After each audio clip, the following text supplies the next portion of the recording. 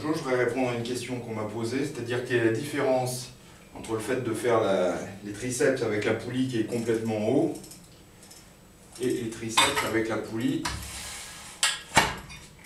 que je ramène euh, aux deux tiers.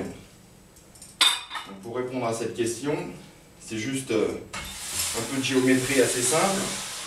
Quand je mets la poulie tout en bas, par exemple que je fais les biceps, comme ça, on voit qu'il y a deux choses.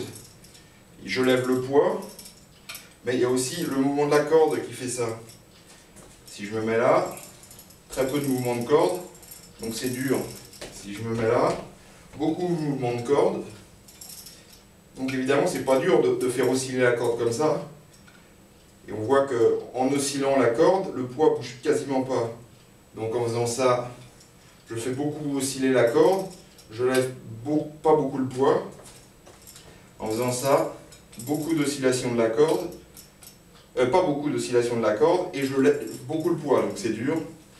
Maintenant, l'application pratique, puisque ça c'est simple, tout le monde a compris. visiblement tout le monde n'a pas compris, parce sinon les gens ne feraient pas aussi mal. Quand je fais les épaules, donc avec la corde qui part d'en bas, comme ça, quelle est la différence Avec une position correcte, qui est là? Pareil pour l'arrière d'épaule. Quelle est la différence quand je fais ça? Il aurait fallu le mettre un tout petit peu plus bas. Ici. Et si je fais ça, comme ça, comme tout le monde le fait. Donc, de l'eau, comme ça. Donc pas bien. On va se développer une pathologie d'épaule. Ce qui ne veut pas dire qu'on va avoir mal Ça veut dire que plus tard, on va avoir des irritations d'épaule. On ne va pas savoir pourquoi, alors que la position correcte est comme ça.